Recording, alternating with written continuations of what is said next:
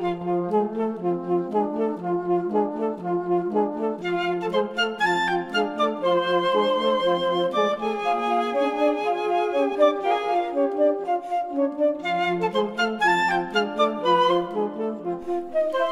everybody, and welcome this week to Talking Flutes Extra with me, Jean Paul Wright. As usual, a big shout out to our wonderful sponsors, TJ Flutes, for supporting us on our flute podcast journey. You can show them some flute love by visiting them at tjflutes.com or on socials on Instagram and Facebook at TJ Flutes and on YouTube and TikTok on Trevor James Flutes. Chris Bullock is a Brooklyn, New York based saxophonist and multi instrumentalist. He has enjoyed an expansive career performing with a variety of artists across all sorts of musical styles. Most notably, he is known for his long-time role as saxophonist and, I would probably say, woodwind player and composer in the genre bending ensemble Snarky Puppy. With this band, he has received four Grammy Awards and is often on tour around the world, performing at concert halls, to music festivals, to small rock rooms. In fact, anywhere that can fit this sometimes very large band in. So I managed to catch up with Chris during a brief respite he was having in Rio just before Christmas. Do you find when you pop over to somewhere like Rio the your senses you get an overload of everything because the colors the music scene it's not static. We've seen that in the soccer with well, soccer we call it football but americans call it soccer. With the football at the moment is that when they score they dance. It seems to be a natural mm. thing with brazilians. Yeah. I mean i mean we experience the world with all of our senses and i and i always sometimes i forget about how much of like you know like smell is such an important thing. And like when i cup i landed here on I got into town. I got to, to, Brazil like maybe four or five days ago, and just the first 24 hours, just like the smell of the city here in Rio, and like very different because I was coming from New York, very different, just striking. And I was asking my friends. I was saying I went to a samba festival on Saturday. It was like the day of samba here, and, like this one day that they celebrate samba in Rio, and they have this big festival. And uh, I was just asking these friends I was with, like, do you guys do you smell this? Do you smell this? And but it was just an overload. I mean, of of my senses back to the football though the crazy thing about that like when they you said when they when they score they dance well like the whole city erupts into like uh cheers. So you can just like hear it reverberating across the city. Oh wow. it's pretty special pretty fun. So i look forward to the next game. Chris thank you so much for taking time out of your valuable break. Is this a genuine sort of complete break or are you using it as a to gather sort of inspiration or are you just going to see what germinates I think the answer to your question is yes. it's all. I think it's. I think it's all of those things. I, you know, I came down here with some some goals. I'm here for two months, and uh, I have like some time between um, touring and, and things going on, and uh, I've had like a couple things in my life like shift around a little bit. So like right now, I'm kind of I put all my things in storage and I'm floating, and uh, so Brazil's like where I'm at for now. And after that, I, am not sure, but we'll I'll figure it out. And as a creative, how's that making you feel? Free? Yeah, I mean, I've always been obsessed with like the music of this of this country. So I wanted to I've always wanted to come down and like spend some actual time on the ground here and like, you know, experience it. And I didn't really bring any clothes. I just brought instruments. so uh like a friend of mine who who is married to a Brazilian, he was like, "You don't want to look like a gringo anyway, so just get the clothes when you get to Brazil. Just bring your instruments." So I brought like a little mobile recording rig. So I, I kind of have like a in the back of my mind, I'm like working on a record right now too, to while I'm here as well. So like for myself. So yeah. Well, that's fabulous because we're going to cover uh, one of my favorite bits of what you've done is your album, but we'll cover that a bit later. But I'd like to take you back, Chris, to the beginning, the beginning of Little Chris. Where did your musical passion begin, and when did it start? I grew up in a pretty musical household. My father plays guitar, and my mom played piano and every, we all like I had to sing in church choir. I was like forced to from like, you know, birth. I also like had this like weird obsession with the Beach Boys when I was like four or five and had like every I went I like got my hands on every like I'm dating myself, but I, every Beach Boys cassette I could find. And it was I was just obsessed with the Beach Boys. So that like early age obsession with music kind of started with that that group and that music and then from there it like went on to like piano lessons and i didn't really care about that. I just like was told i would to do was going to do that. And then eventually found my way to like saxophone and clarinet and guitar. When you look at the beach boys was it that feel good vibe? Because when you listen to the beach boys it is so distinctly them. Yeah i think for me it's just like i, I just gravitate towards what i like to call sticky melodies and like just people that write these melodies that you cannot forget even if you want to and like you know brian wilson and his crew like knew, really knew how to do that. And uh, so i think like that that's kind of set the stage for some of my other musical activities and just like you know planting some little seeds things like that. Well you you try to intimate there that you're getting on a bit because you can remember cassettes. But you're actually still a young person when it comes to the, the great thing about music is you're a musician for life. And totally. in that timeline you're still relatively a baby hence part of snarky you. snarky puppy puppy he's still not a dog yet he's still a puppy so how has your musical journey developed over the years and really who have been your major influences since you left home musical journey you know like i i, I went like the the college route and i and i got like an undergraduate degree and I didn't know what the hell I was going to do after that. So I was like, well, I guess I'll do more school because I do that well. So then I got a master's degree. And then after that, I was like, fuck, I guess I'll do more school. So I worked on a doctorate that I never finished. All along through this, like, I feel like the school situation, the best thing about it wasn't necessarily the teachers, it was the community and the people I met along the way that I that I work with to this very day, you know, um, from my the various schools I went to. So like when I went to work on a doctorate in Texas at North Texas. That's when I met the Snarky Puppy dudes. I started playing music with them, and then I started going down to Dallas and interacting with that musical scene, which was like had a really big impact on not just myself, but us as a band and, and a lot of musicians. That kind of like paved the path, so to say. Well, we'll come to obviously Snarky Puppy in a minute, but before so, I, I want to speak about your debut album, Boomtown. I really adore it because there's nine very different tracks with different feels, vibes, and compositional messages. Where did you begin with that? Because, and how did you shuffle everything in order? Yeah, I didn't really, really start writing a lot of music until I'm 41. Uh, maybe like 10 years ago is when I really started like focusing wow. on composition. And so, but you know, I, I have a pretty diverse palette of things that I'm interested in. So I just you know tried to put that through my filter you know and and so that's where those tunes came from. And i have another record that that's like about to get mastered that i'm going to put out in may of this year. I'm pretty excited about. It's a little more of like a i have a, a band that i pre-pandemic went on a couple tours and was slowly trying to get that off the ground before and then the pandemic came. But, but right at the in the middle of the pandemic i i, record, I documented that band. We went three days in the studio and then i spent the next year tinkering with that. So more music in the works. So because for me, when I first listened to Boomtown, Anti Jam got me straight away. It hooked me into the album. Oh, cool. Was that a conscious track to have as the start? Yeah, that was kind of the idea. That little intro beginning thing. I tried to write a sticky melody or some kind of you know compositionally yeah. something that grab you and give you something to like hold on to as some comfort. And as a composer, thanks for listening. Oh no, I, I, I love it because I, mean, I love snarky, but this is not snarky. This is this is a different vibe, and it is there is so many different messages in with with each piece. How, as a composer, how do you title something? How do I title something? Yeah, uh, that's a that's a that's a tricky one because like I always I always like I have these ideas of like like sometimes it's like a cheeky title and you're like mm, maybe like if my mom read that would she be like when I get like a text message about that maybe? Not that I care but I try to be respectful. Sometimes it's like the time of day. Sometimes it's where I'm at. Yeah it just kind of varies. It's just a really interesting titles because you got anti jam and, and for me I'm, not only did the name get me but obviously the, the the intro before you go into the melody, it sort of um, yeah. it, that got me. And then you look at other ones like Jay Gittey, and then Morning Song, and yeah. then Prophets, and then Cloaked.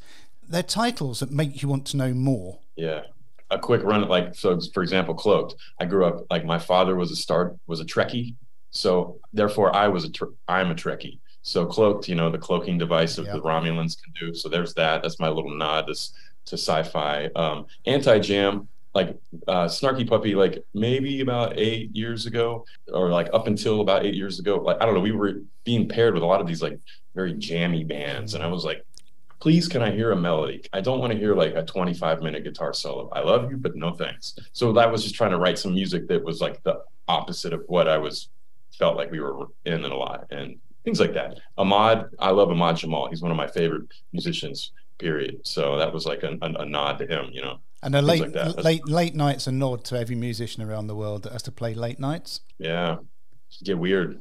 yeah. The woodwind texturing in this is stunning throughout the whole album. How did you layer this up? It's very detailed and very clever the way that you've textured it with all different instruments from bass clarinet, saxophone, flutes. How did it develop from the original sort of seed, the nugget? First of all, like making a record is expensive. Like that's like hands down. I didn't realize that going into it, and I was like, "Oh wait, okay, I have to learn how to like get a little creative with this to get the sounds that I want."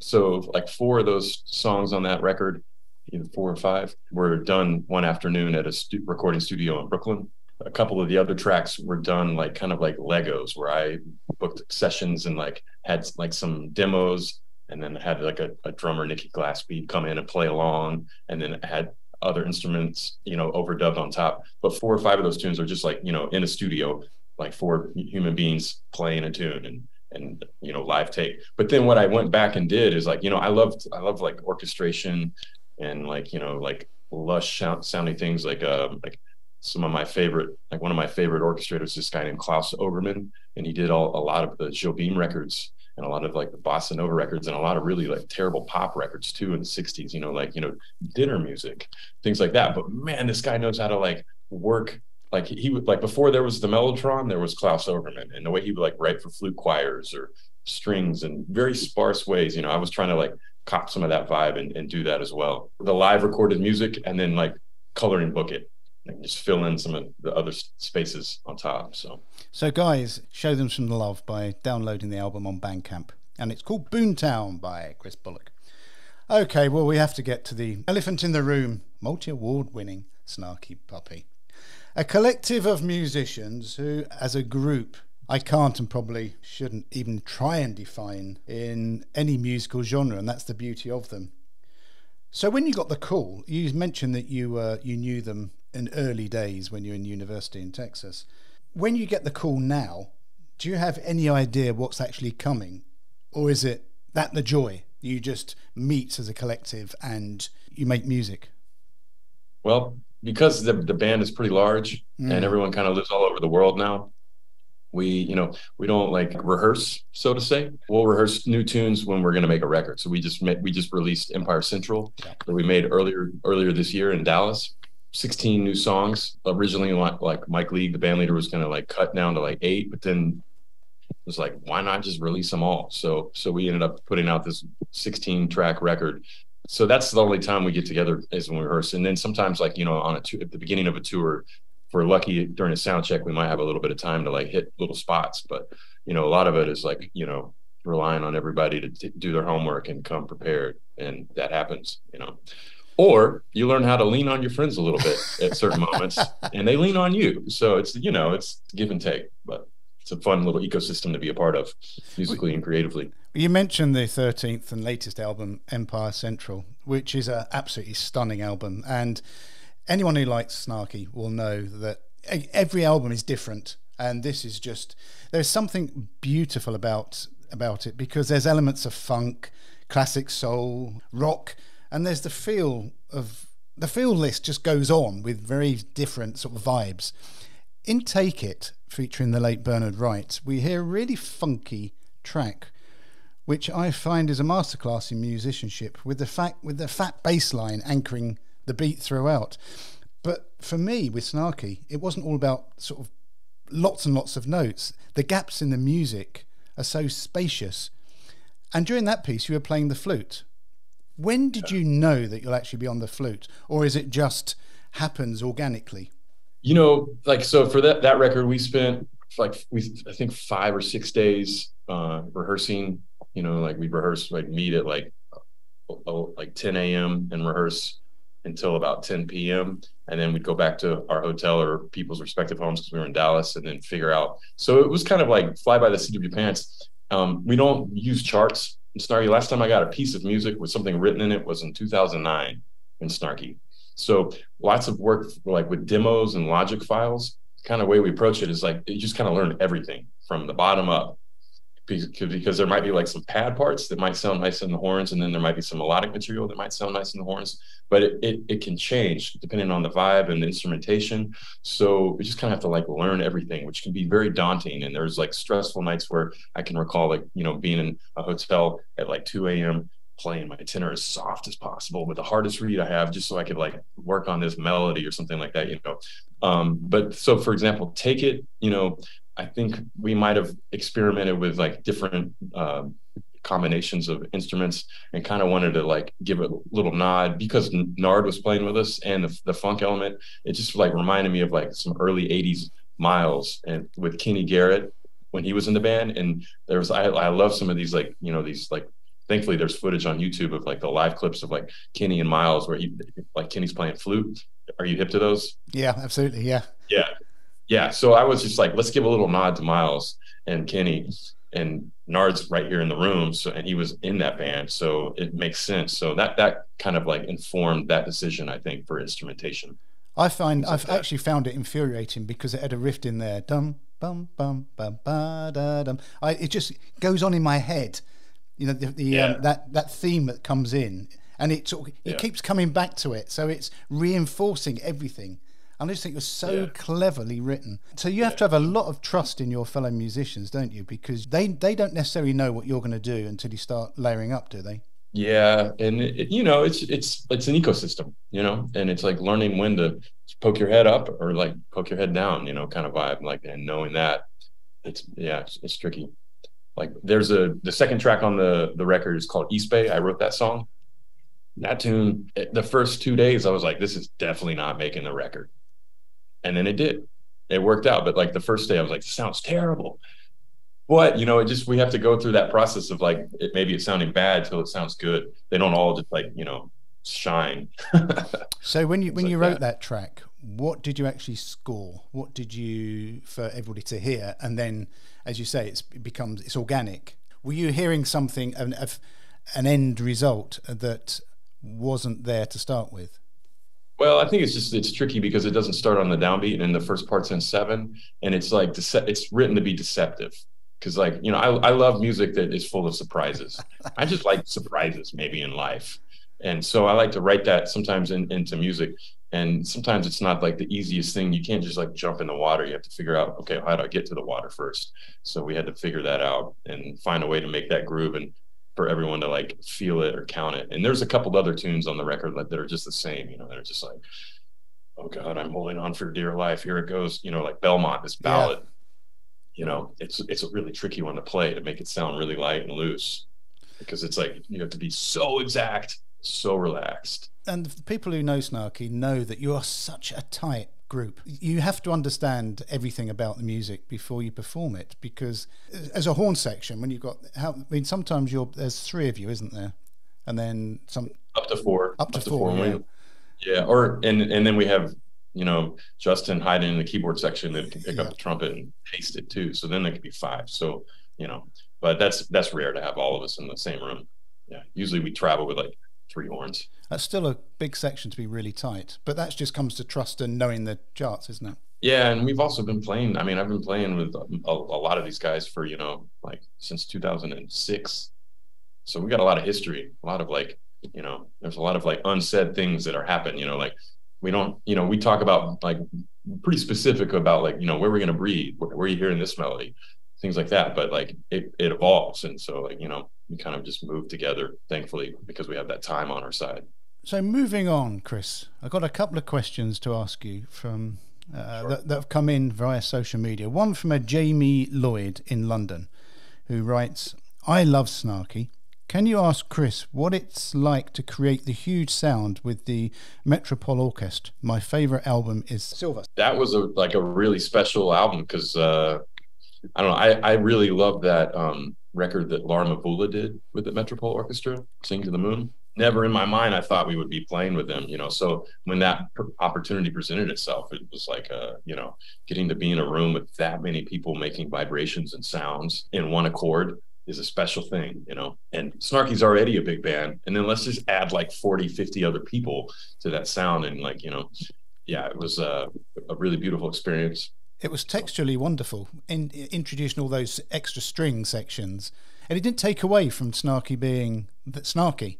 It was almost this sort of marriage of equals, which was yeah. wonderful. Yeah i mean the metropole orchestra is like a really really special group you know I, I don't know of many orchestras in the world that can groove like they do in a variety of uh, musical environments you know. We've we've done the the sylva music with a couple other orchestras that will remain unnamed. And it was like sad.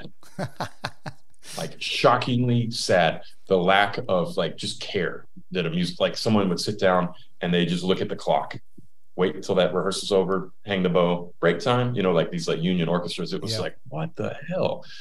So the metropole is a special thing you know. Was the the vibe actually playing with a group of musicians like that different just because they understood the groove, they understood the, what you were trying to achieve. Yeah, and we got to do it a couple times. We didn't just do the record in one performance. Like we we did like a little mini tour with the Metropole too, and which was really fun, just because it was like that's a lot of people checking into a hotel at one time. It's pretty hilarious. You know, things like that. It's just like a fun crew of people to, to hang with, and and I ended up making you know like some what is now like lifelong friends from like making that playing getting play music with them. Every time I go to Holland, we hang out. Moving on to Alice Wooten from Minneapolis, who asks, and obviously she's a Jacob Collier fan here. When you did Don't You Know from Family Dinner Volume 2, which featured mm-hmm. Jacob Collier, he was so young then. Did you know at the time he was going to become the phenomenon he has? I can't predict the future, but uh, he's a talented dude, and he's uh, he's got a lot of music and, and life in, in him. So sure, it's kind of obvious. That was a fun record to make too. Yeah, it's it's great. It's a, a, long it's a long track, the one that he was on, isn't it? The uh, Don't You Know goes mm-hmm. goes on. Yeah, extended solo, right? It's been a long time since I've listened to that record. I don't often revisit the stuff we do unless I have to like relearn something. but he must have been probably twenty then. That's quite young, isn't it, to guess with Snarky? Sure. Yeah. I mean, he the, the music, his musicianship speaks for itself, and you know, some I think sometimes too, and with the way our culture and our society, we get so like we put this pedestal of someone's age and get to become more obsessed with the age than the actual like art. He's been making art from a very young age, so I think that's more important to, to like focus on. I think you know, or or whatever. But to each their own, you know. Oh no, here, here, here. You know, if the if a person's got talent and ability, I'm not talking here about uh, mechanical ability. In other words, the ability to play fast. Someone's got soul. Yeah. Someone's got soul. Someone can convey a narrative. It doesn't matter what age yeah. they are. Yeah, totally. I know you're a busy guy, Chris, but I have to ask you one last question. What does 2023 and beyond post Brazil look like for Chris Bullock? Well, thankfully, I'm busy with Snarky a lot. This next, this upcoming year, we've got a lot of touring just because because we just put out Empire Central, and so 2023 will be a busy year for for my Snarky activities. We've got like some South America, some Asia, Australia, more Europe dates, more U.S. dates, Central America. So that that'll be cool. Um, I'm going to release my second record in May. That's the plan on Ground Up Music. I'm just finishing up the artwork and things like that. And I'm gonna, you know, attempt to potentially like take my own group back out on the road some somehow, some way, somewhere. uh, it's uh that that aspect of like being a musician and trying to develop a new project and get like warm bodies into a room with ears that want to listen takes some time, you know. I mean, like for example, like you know, with Snarky, we spent many years playing for nobody, you know, or like you know, and then it slowly, incrementally built. So like you know, again, trying to like build some more of my own like solo stuff. So things like that. Working on some music with a few other people as well. So a little variety of things. And when so, you're on tour, what do you do to chill, or do you, or are you uh, constantly uh, thinking music? You know, my favorite, like over the last couple years, I've gotten really into running and I always like look at them when I get to a new city. It's always a fun like little like map my route. How many bridges can I go over today? Or can I run along a beach or some kind of waterway? So I, I, I like, you know, and it's plus it's just like a nice way to just get away from everyone and have a little alone time. Cause I feel like that's really important for like the amount of touring. Like I just did a six week tour a couple months ago with, with Snarky across Europe and the UK. And, you know, that alone time is really important. It's like, you got to preserve that, like just for sanity's sake, you know? Because it's uh sometimes it can feel like like on the road that like I'm living in the circus. And when you're so, running, do you think? What do you think of? Do you try not to? Are you there looking at what you're going past? What's going on? I think like as I, I've gotten older, I'm trying to become a little more zen and be in the moment here right now, you know, because like that that'll come and that's back there. So it's like trying to just be present where I'm at. It's usually a pretty nice way to like experience a new place. And that's the same with being a musician, isn't it? You always have to be in the moment, otherwise otherwise it all goes wrong. Yeah. Yeah. We can get ahead of ourselves sometimes and make funny mistakes or make odd choices, things like that. Yeah. Being being present and trying to be open to communicate and listen to the people around you things like that. And how hard do you find that now when you're on tour? Even though you're on tour, you know everything you're playing. You still have to be in the moment, don't you? Do you find that gets easier the older you get, or is that harder? I think it's just like learning how to accept where I'm at that day. Because some days, you know, like I, I, I love like being on tour and playing music every night, but you can't like hit a home run every night or whatever analogy you want to use. So it's just trying to be open and flexible and not stuck in like, well, this is the way I play this song and I only do it this way. It's like being open to like other ideas and other influences, you know, and uh, that that kind of sentiment usually like allows more creativity and more fun. I think. Well, I love the fact that you don't have uh, sax players' chops on the flute. You can actually play classically and you can play ah, you can play with a you Hubert Laws. You.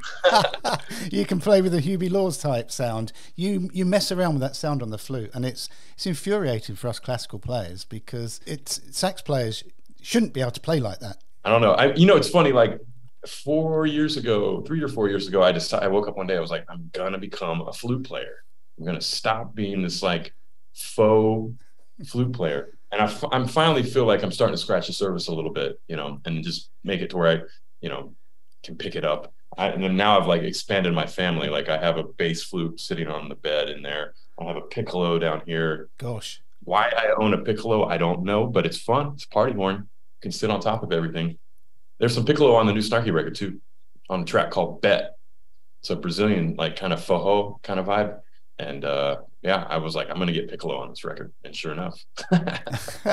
well, it certainly works because tonally, it shocked me on the the last Snarky one. Just the, the sound, the purity of the sound. It, and you cleverly inserted some vibrato in there that, whoa, what's that? You know, it is. It was a be- oh, wow. beautiful flute sound. So yeah, and then you and then you can effortlessly go over to the saxophone. Then you go over to the clarinet, and it's going to be piccolo soon. You just think, oh, your chops must be so flexible. Well, from week to week, it varies, right? I don't know.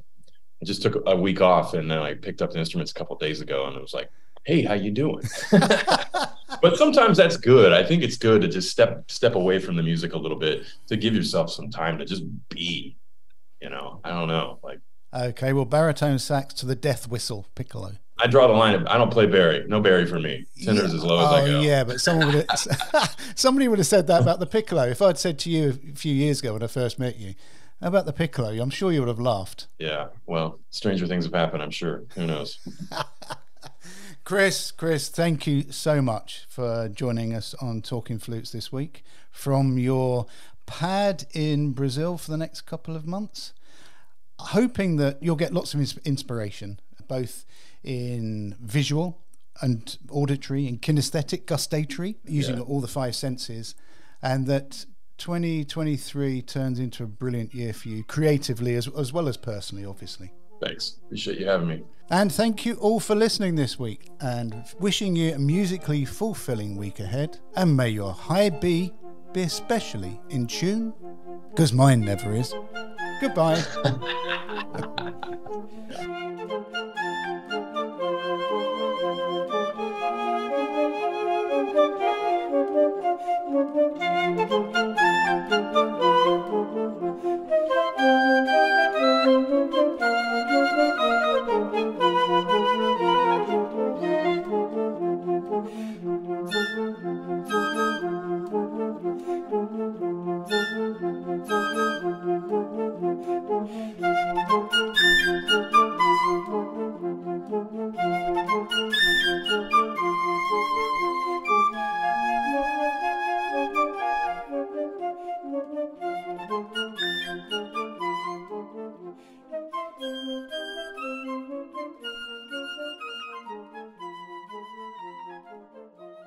Talking Flutes and Talking Flutes Extra are podcast productions by the Trevor James Flute Company.